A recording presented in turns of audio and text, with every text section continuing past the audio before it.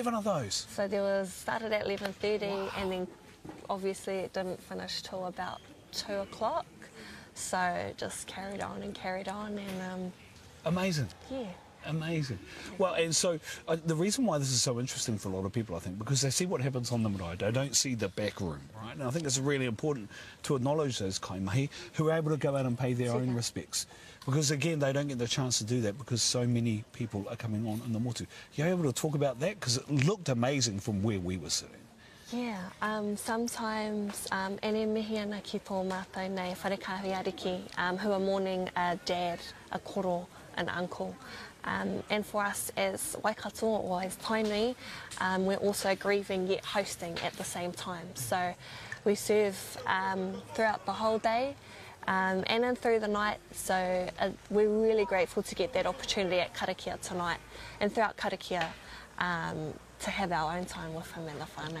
Yeah, yeah, beautiful. I think I'm right in saying you were three years old when the King's mother, Te Reki Nui, Te Tārangi, passed, uh, te tārangi Kahu, passed away.